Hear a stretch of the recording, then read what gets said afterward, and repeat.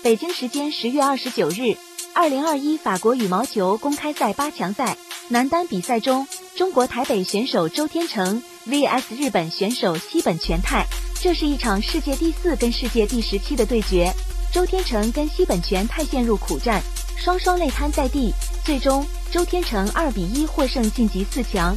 周天成 vs 西本全泰，第一局。周天成开始三比一领先，西本全太很快将比分追成五平，但周天成再次八比五拉开比分，西本全太连追两分，将比分追至七比八。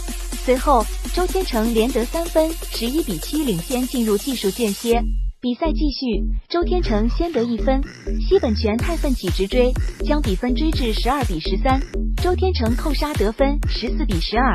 接着西本全太将比分追成十四平，随后周天成十九比十五再次拉开比分，西本全太连追两分，但无法逆转。周天成二十一比十七拿下第一局。第二局双方紧咬比分来到四平，西本泉泰连续两球出界。周天成两个扣杀得分，将比分拉开至八比四。西本泉泰连追三分，将比分追至七比八。随后，周天成十一比七领先，进入技术间歇。比赛继续，西本泉泰连轰四分，将比分追成十一平。随后，周天成连得两分，十三比十一领先。接着，双方交替得分，来到十五比十三。周天成对角劈杀出界丢分，西本全泰往前扑球得分等。西本全泰连得六分，十九比十五反超。周天成连追三分，但西本全泰二十比十八拿到局点，并以二十一比十九扳回一城。决胜局，西本全泰开始五比一占据比分优势，周天成往前扑球追回一分，接着回球触网，双方比分二比六。随即，周天成打出一波小高潮，连得五分，七比六领先。双方比分交替上升，来到九平。接着连续两个多拍。周天成和西本全泰两人都累得躺在地上大喘气。周天成十一比九领先，进入技术间歇。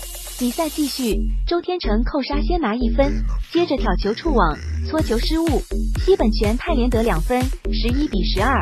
随后周天成连得两分，十四比十一领先，西本全泰连追四分，十五比十四反超。